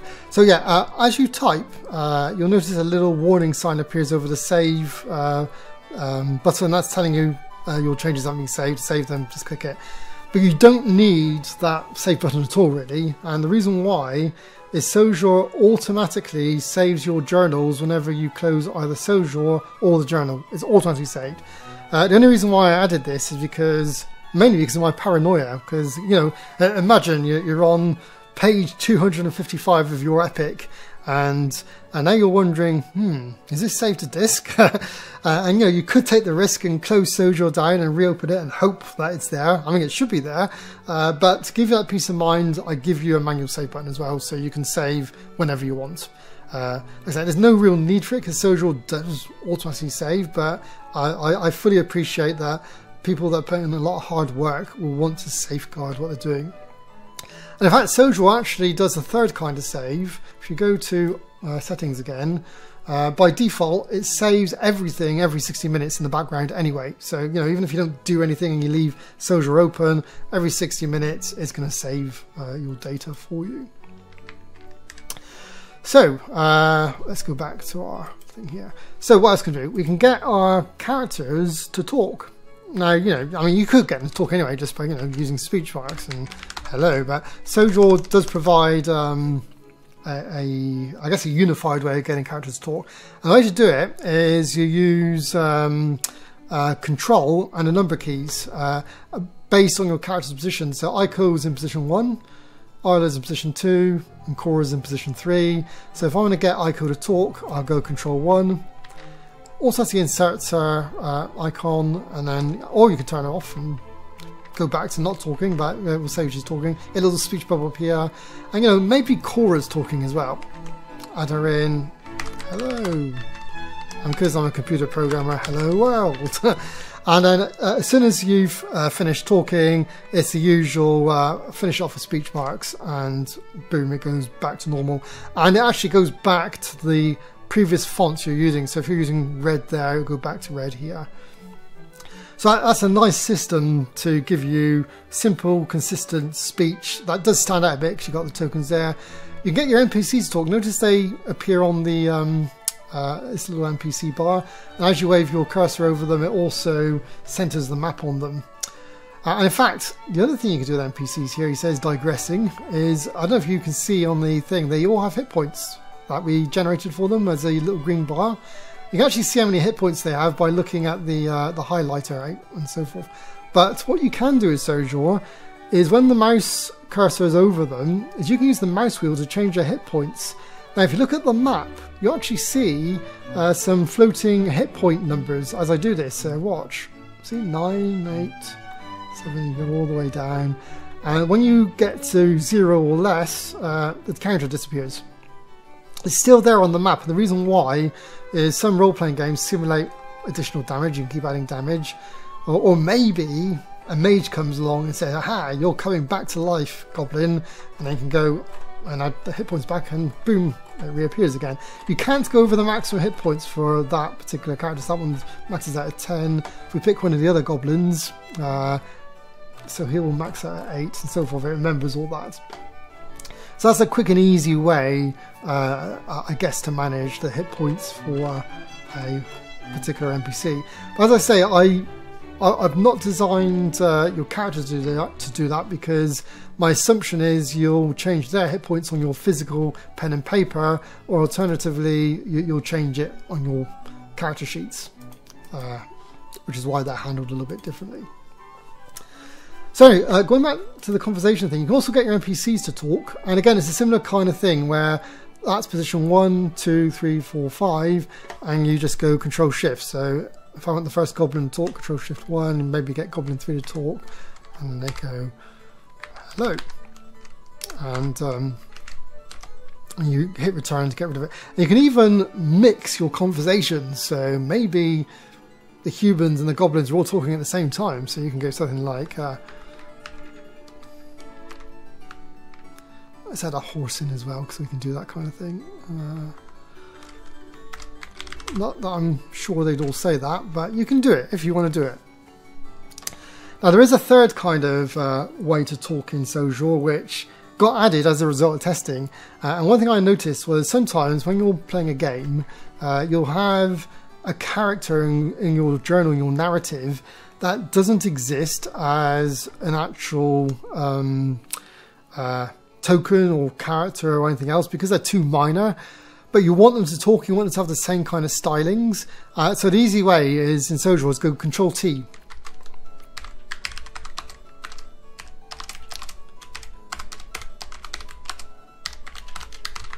And again, to stop to come out of that mode, speech marks and get back to normal again, and it will go back to uh, the original font that you're at.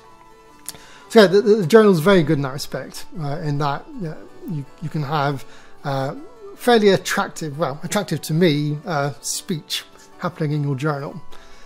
So, uh, what else can we do here? Uh, right, oh, yes, we've got um, an empty drop down here, and there is another one which will appear when we add it, and that's for turn sequences and for tables.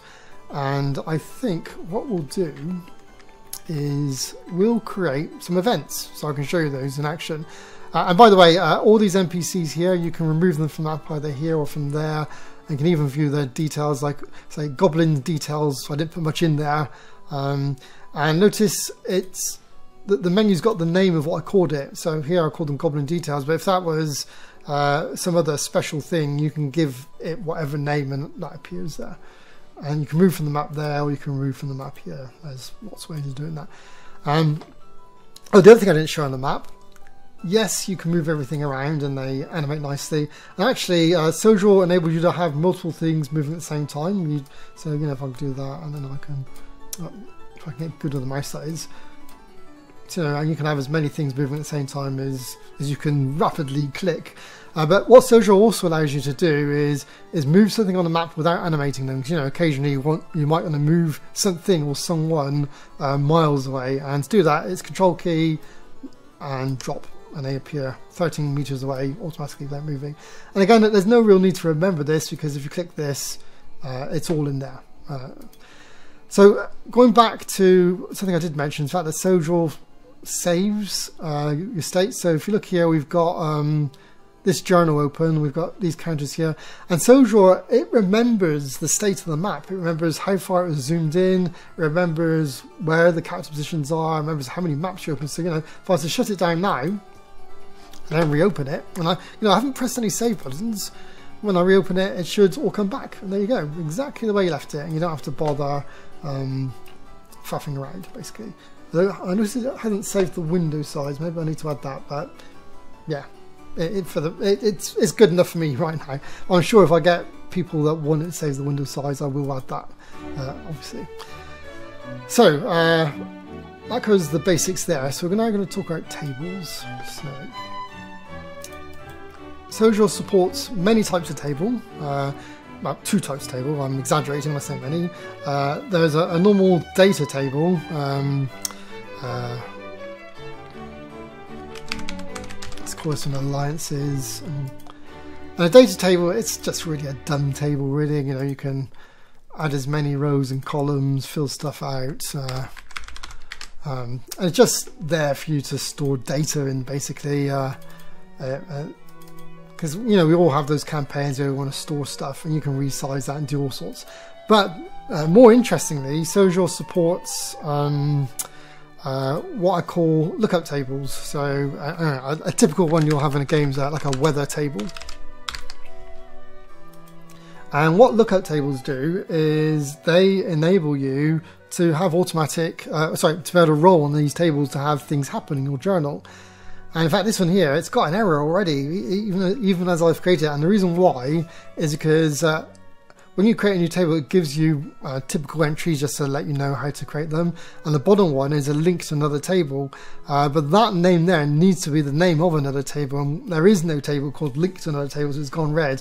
And in fact, if I click the little triangle here, there you go, one invalid lookup table detected, which is fair enough. Uh, we'll get rid of that in a second. So you can, again, like the other one, you can add rows and ooh, now we've gone up to three errors. And that's because if we click this, it's saying uh, one invalid row range detected. Yeah, because there's no row range in that row. It's also saying uh, one row with invalid events detected. Yes, because there's no events in that one.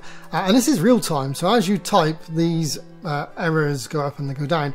Now, Sojour, uh, it doesn't enforce those errors because at the end of the day, it's your prerogative to set up these tables any way you like, and it's not for me, the programmer, to say, haha, you can't do that, because that takes away your flexibility, which I don't want to do. So uh, it will just display the warnings. You can look at them. You know, if you're happy with them, go for it. Leave the table as it is and just go for it. You can always test it with the test button. Anyway, let's go back to this weather one. Uh, so let's go for um, storm. Let's go for rain maybe cloudy. And see how the error count's gone down automatically as I'm typing, and maybe we'll do 7 to 8. Uh, maybe we'll make that sunny. And then go, all the errors are just gone. And you can test this by hitting test, and there you go, sunny. And what you'll find, when we go back to our uh, journal, that should appear. There you go. And if we move the cursor down and click on it, Look at that. Stormy today, rainy, sunny, and you know, you, you have these uh, uh, random events that you can create in these tables, so it's quite handy. Uh, but there's more. There's a lot more to tables than what I'm showing you here. Uh, for example, uh, let's add. Let's change that to 12. So uh, by default, uh, Sojour rolls the entire range of the table, in this case, seven to, uh, sorry, 1 to, to 12.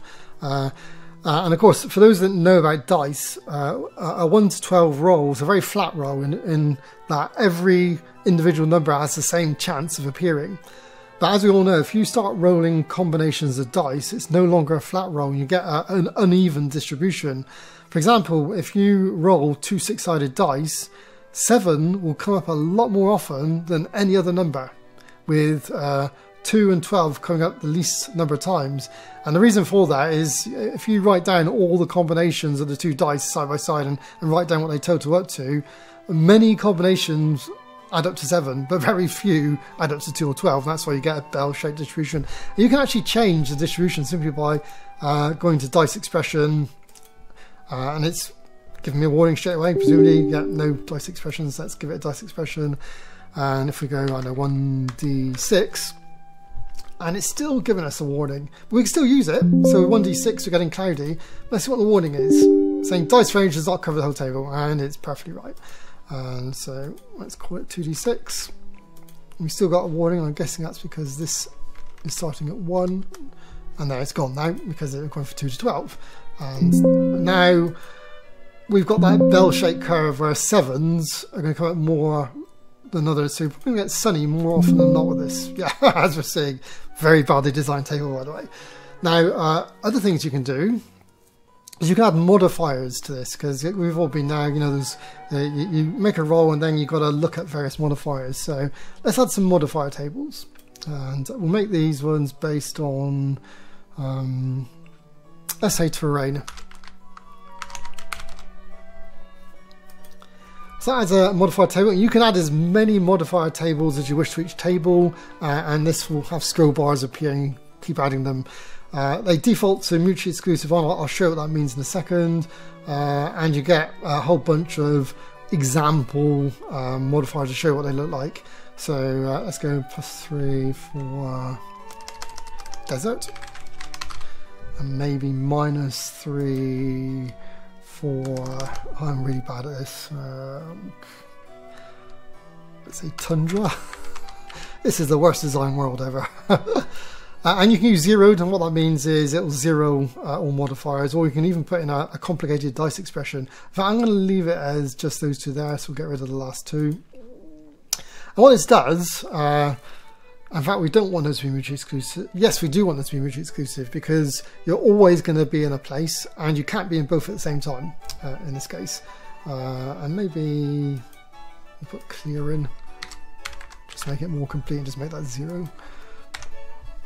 So uh, when we test this, what you get now is this modifiers table where you've got to pick up a modifier. So, oh, my character's in a desert, so well, let's say they're in tundra, and then we apply the modifiers, that does the roll, and it's still sunny because of our huge 7 to 12 range we got there.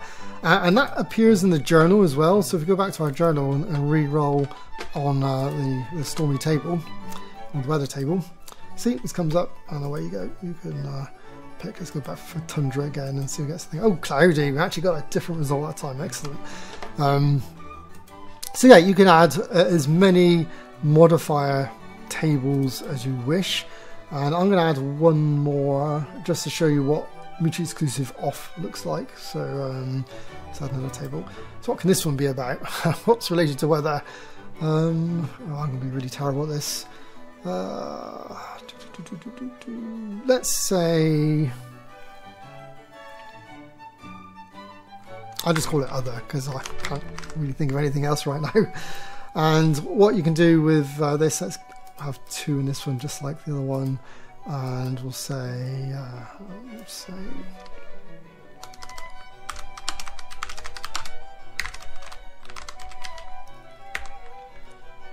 fact, that's probably more realistically minus 3, not minus, that plus 3 will say. Um,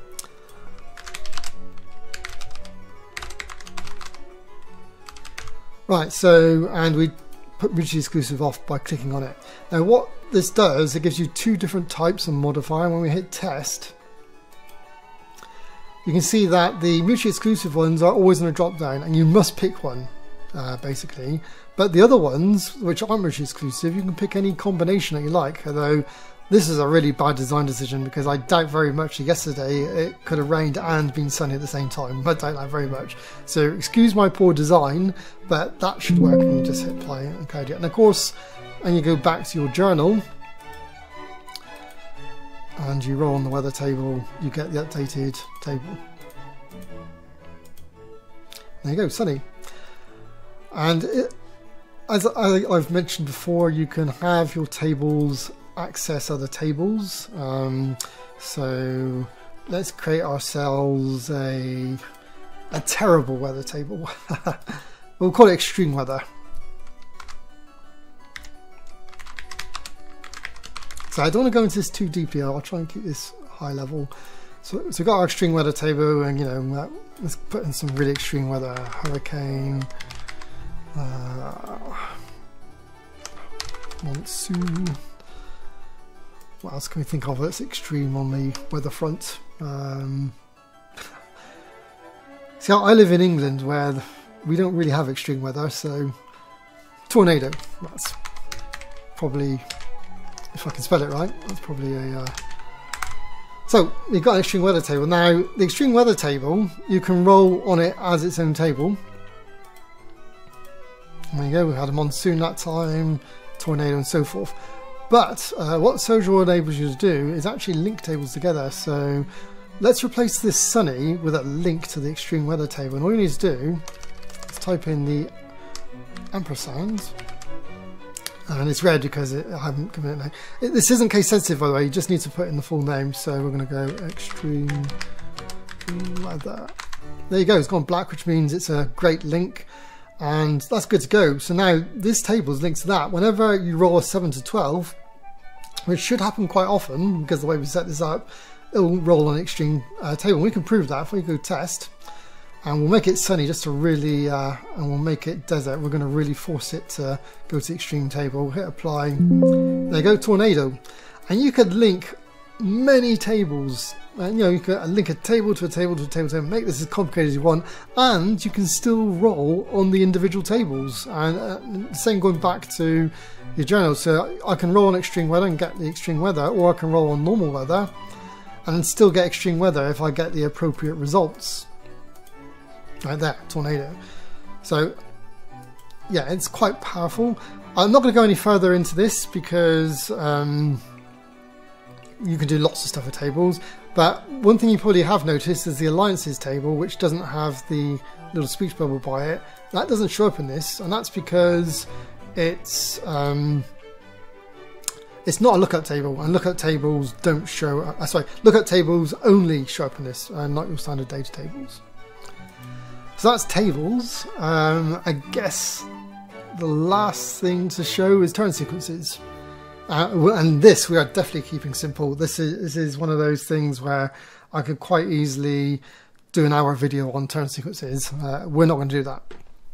So I mentioned earlier that turn sequences are a way to model turns uh, and be able to to drive your turns forward. And we're going to make this one really, really simple and we'll call it a combat round. Uh, now, in the description, that's the text that's going to appear in a little window, which I'll show you in a second. And generally speaking, you you want aid memoir text because you've all been there. You play your role-playing game, and there's like 10 different things you can do in a combat round. And unless you've played the game continuously, remembering those 10 different things is a right pain. But you can add those 10 different things in this description so that when the turn happens, you can read it off. Right? You don't have to remember it. Uh, I'm just going to go do stuff because I'm being very unimaginative, but we'll leave that there. Uh, you can pick how long it lasts for. We're going to leave it in seconds. We're going to go for six seconds. You can also pick whether there's an initiative tracker attached to it. Uh, and yes, we want to track initiative because this is combat, so let's tick that. Now you can pick whether it runs every turn or whether it runs just on the first turn of combat. Now, uh, well, I think all of the games that I own, you only roll initiative once, and that's right at the beginning of combat, so we'll leave that unticked. And then you pick whether the initiative values are high to low.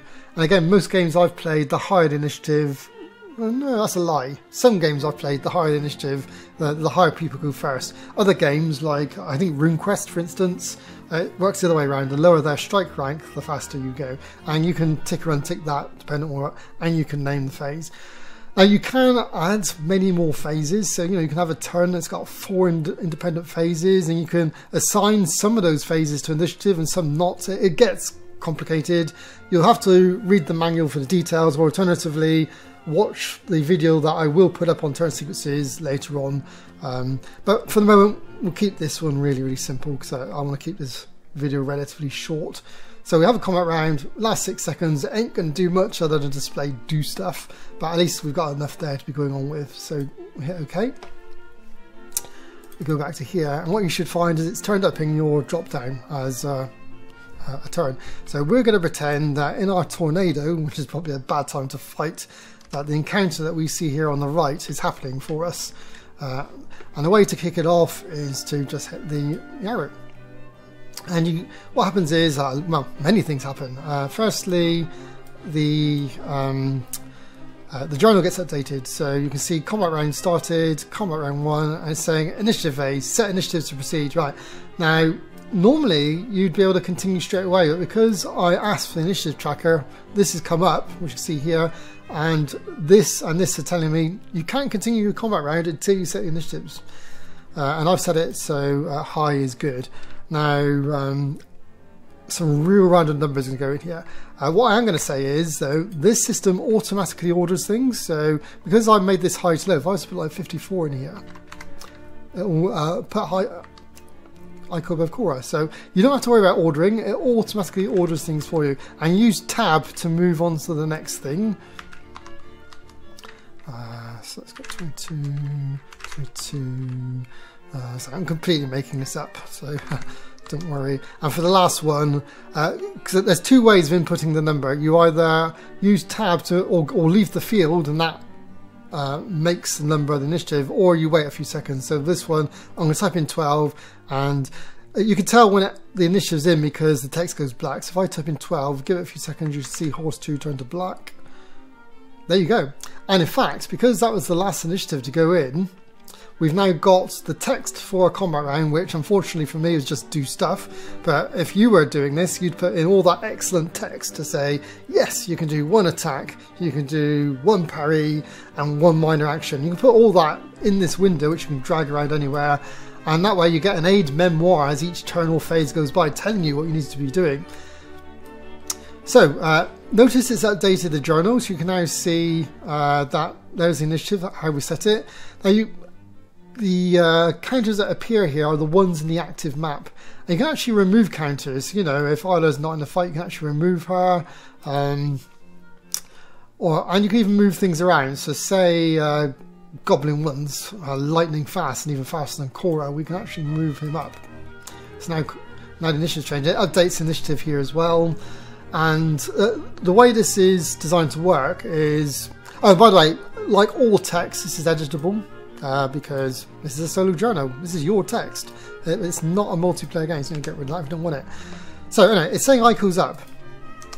Um, so and the idea is, uh, and you can tell she's up because she's highlighted here. So I say uh, Aiko attacks the goblin and hits. Maybe we'll take some goblin hit points down. Obviously, uh, a good role player will be a lot more elaborate with descriptions. Please don't do what many role players do, where they roll the dice and go, "They've hit, they've missed, they hit, they miss." That's not good narrative. You, you want to uh, make good narrative about your combat because it, it really uh, brings it out. And if you look at my manual, I actually have some pretty good narrative in there as examples. So anyway, let's let's pretend for a second that Aiko's been. So you, you then click the next I'm saying horse one is up. I don't know why a horse would be involved in combat, but maybe this one's an angry horse. So horse one is doing stuff. Uh, and notice um, user entered text is black. The uh, initiative tracker text is in grey and you can go through and notice it centers the map on whoever is up and puts a little red ring around them temporarily just so you can see and it always leaves that as blue and has the text in here and go through and when you get through to the last one and hit next the time goes by and six seconds have gone by so it's keeping track of time as well now we can prove that um, Obviously this isn't showing seconds up here, but if we do 10 of these, we should see this go up to 1532. So if you bear with me whilst I hit next many, many times, that's three, four, five. You'll never do this in real life, hopefully. Not uh, eight, nine, and it should be after the 10th turn, I believe. There you go, 1532. So this whole system's integrated and it's keeping track of your time. And I believe, I hope this works. I hate it when things don't work for demos. If you um, take the uh, hit points down of someone to below zero, I'm pretty certain the system will remove them from the initiative tracker. There you go, that goblin's gone. Uh, until he gets resurrected, then he turns back up on the initiative tracker. So all good stuff. So, so, that's what turn sequences are from a very high level, and you can go really nuts on these. You can have multiple phases and all sorts of things. You don't have to have the initiative tracker if you don't want it. And when you finish, you just hit closed, and it says combat round complete, and then you carry on typing stuff. I say you can have as, as, many journals open as you want. Uh, it's completely up to you. So, have I covered everything I want to cover? I think I have he says, looking all over the user interface. Yeah, that, that is pretty much it. I would say there's no need to panic um, when you first get this. Uh, I know things might seem complicated, but there, there are helper windows for both the journal, and also the map. And of course, you've got a nice 100 odd page manual which you can view at any time, which explains how to do things. So uh, that should help as well. And as I mentioned earlier, Sojour remembers everything. If you shut certain um, parts of the tree down, have certain maps open, have certain journals open, uh, when you shut it down and reopen it, it'll reappear uh, just as you left it. Uh, so you can carry on playing your game. Me just have a quick look at settings, see, make sure I've covered all of those. I think I have. Yeah, you got the usual warn on deletion. Um, some people don't like warnings saying you're about to delete something, some people just want to get on with it. Uh, dynamic spell checking, that's interesting. Um, I suspect most people are going to like the badly spelled words being highlighted in red, but I can also suspect some people will be irritated by that. So you can actually turn off dynamic spell checking so those highlights don't happen. However, you can still right click on the words to find out if they're well spelt or not. It's just you don't get the highlighting.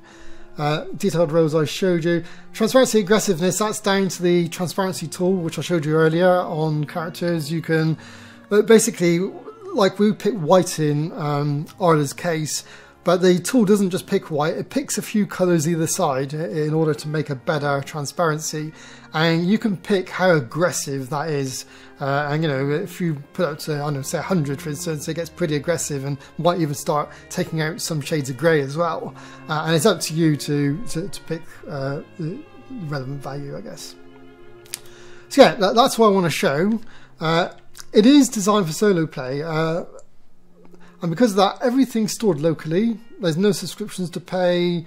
Uh, you can play everything at your own pace. It remembers everything. Um, you can edit everything in your log. So it's not like a multiplayer journal where once something's said, it's in stone. You can actually add more text at any time. Oh, yes, there are a few other things. Yes, there's quite a few other things I need to cover on a journal. Sorry. right, so you've got the usual find facilities if you wish. Um, and you can find all instances of the word back. I think there's only one there. Uh, you can also zoom in and zoom out if you uh, want to do that and double click to set it back to 100% and each um, journal remembers its setting and this reminds me I need to show you documents as well I'll do that in a second uh, other things you can do is export this so um, you know uh, maybe you think ah oh, man this is a really cool campaign and I want to export it into a rich text document to share with my friends. Well, you can do that. You can click this button here. Uh, let's set this to desktop and let's go my campaign, call it whatever you want. Hit save. And that, there you go. And that appears. Yeah, I do trust my uh, and block. And there you go. Or you could open up in Word or whatever. So yeah, very easy to export your journals. You're, not kind of they don't have to stay in Sojour, you just export them all. Uh, and speaking of data, this is quite important as well. I mentioned earlier, or maybe I haven't, so I don't remember, but uh, Sojour tries to store all your data in a non-proprietary format. The idea being you spent all the hours building it, so you know why shouldn't you be able to use it in other tools? So, and it gives you an easy way to get there, and that is all you need to do. You can pick any node in your assets browser, and most of them have a browse folder button. So you click that, and that takes you straight to where all the data is. Now, Sojour uses very scary GUIDs to name everything. Uh, that's just to help it keep track of things. But everything in here is in a standard format. So, like the map I imported, that's a standard image. There we are, it's an image program. So you could open that in one of your image programs. The token I created, standard image again. And standard image. Uh, and even the journal, we can open up the journal, and that's actually a rich text document. So, Sojour endeavors to save all your data in a non-proprietary format because uh, I acknowledge people use many other tools and you might want to use some of what you've done in Sojour in other tools. Now, uh, journals is one way to keep track but uh, of text, but as uh, I think somebody in the Reddit forums requested this, and also I decided I needed it as well. Uh, if you create documents in Sojour, let's just create a document. Um, uh, what should we call this? Campaign notes. Oh, I can't spell for my life. And again, it could be any RTF, it can be any PDF, or it could be anything from your um, uh, document templates. Uh, I'm actually going to go for a blank uh, RTF so I can write in it. So, and uh, these campaign notes, it's a stay on top window for a start, but it's it's modeless, so I can go back to my journal, I can carry on doing stuff. But then I can carry on writing stuff in here. And this uh, RTF document, it's the same control in programming speak as the journal. So you get all of the facilities. You can change fonts, so you know you can change the color. Maybe we'll go blue. Excuse my voice. And of course, uh, it has spell checking in. So it gets all the facilities. Oh my god, I really felt that badly. Let's leave that as it is. But it's got all the facilities that um, the uh, uh, the actual journal here has, it, including dice rolls, I believe. He says, let's give this a test. I haven't really tested this, but you never know. There you go. So, including dice rolls, it's underscored because I left it as underscored. Um, so yeah, very handy. And you can have as many of these open as you wish. Uh, and it remembers the last words. You know, if I close that and then I reopen it, uh, where is it? It opens back where it was. Uh, now, what I would say is the RTF functionality in Sojour is a little bit crude right now. You can do some basic font changes, and that's about it. But internally, it does support the full uh, RTF format. So, for example, you could paste in actual tables and images, and Sojour's documents will honor those. They'll appear. Uh, it's just that you can't create them from scratch. Right? It's just a limitation. Uh, maybe in the future, for future iterations, I'll, I'll add more functionality, but I, I, think there's enough there to be getting on with. Uh, so, have I definitely covered everything now? I think I have, he says, looking at everything. That's, yeah, that's definitely what I want to cover. Right, so that's it.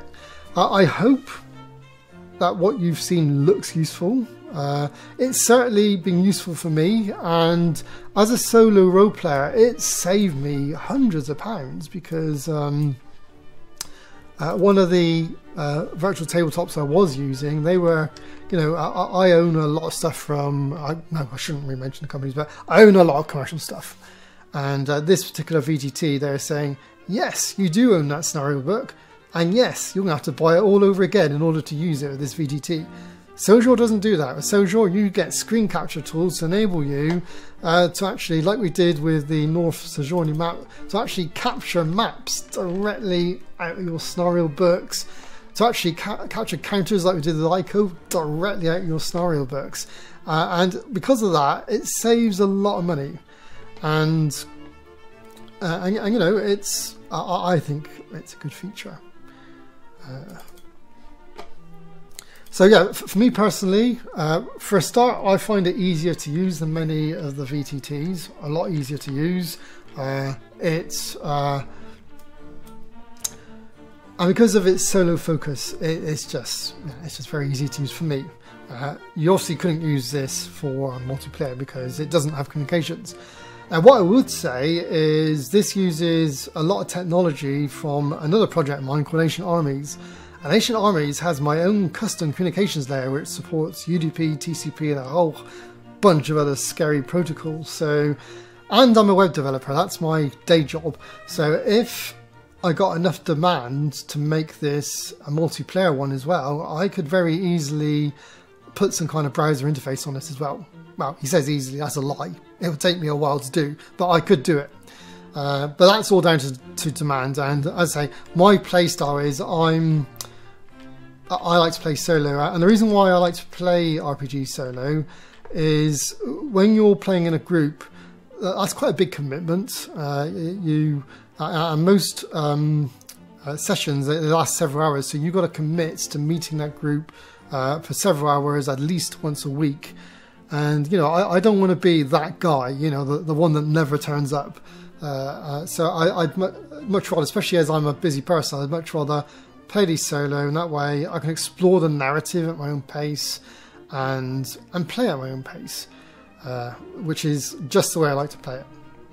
And I suspect it's just the way some other people like to play their games as well. There's no rule saying you have to play an RPG um, with people. Now, I will put up a video, and I've promised to do this before, and I still haven't done it. But I, once Sojour settles down in terms of the dust, I will put up a video to uh, show you some of the techniques that I use to play solo because you can play RPG solo. In the uh, when I first started, I thought you could only do it mechanically. That is, you know, generate a few characters, maybe have some combat. But no, no, no. You can actually role play solo as well, provided, and this is the key thing, which I didn't believe at the time, but it is the key thing, is to have a journal and write down the story. And, and then in that journal, not only do you write down what's happening, but you start to elaborate on your characters and you start to create some of their quirks, uh, and and your story starts to build up that way. Uh, but yeah, I'll have a, a, completely separate video on that. So yeah, hopefully this is just the kind of software people are looking for for their solo games, and maybe it's the kind of software that will help them out if they want like a, a map surface uh, to use in their multiplayer games, because uh, this is a pretty decent map surface on the whole with lots of tools to you know help you out and do things. So yeah, uh, Obviously, any feedback, uh, pop it into um, into the YouTube comments. Uh, I'm open to feedback. If there's anything you feel needs to be added, I, will take it on board. I can't promise I will add it because there's only one of me. Uh, but I, I, will certainly add it to my management system. And you know, if something gets enough votes like the dice rollers did, I will add it, uh, guaranteed. Um, so yeah, uh, and uh, in terms of when it will go on sale. Um, I've got two more videos to do and then it'll go up. So hopefully in the next week or two. So keep an eye on the description of this page and I'll probably post in Reddit anyway. Uh, and there I'll have a link. And as I said, it's going to cost you $10, which I think for what it does is a very, very fair price. Uh, and for that, you get updates as well and, uh, and no DRM. So, yeah, uh, that's it. Uh, so, uh, feel free to like and subscribe and you know maybe even tell your friends about it and thank you for taking the time to watch this it's been much appreciated goodbye